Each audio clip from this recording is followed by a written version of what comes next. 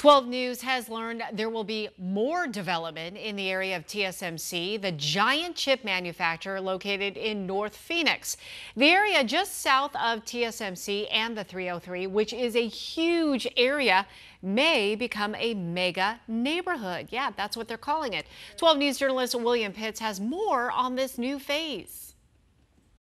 Anybody who's driven on I-17 knows exactly how much construction there is all around TSMC. Now, there are at least three massive developments planned all around it. All that desert will soon be developed. There are at least three big developments going on around TSMC. Halo Vista, which is on the north side of TSMC, Dove Valley Town Center on the other side of I-17, and the biggest, North Park, 6,300 acres of land to the south.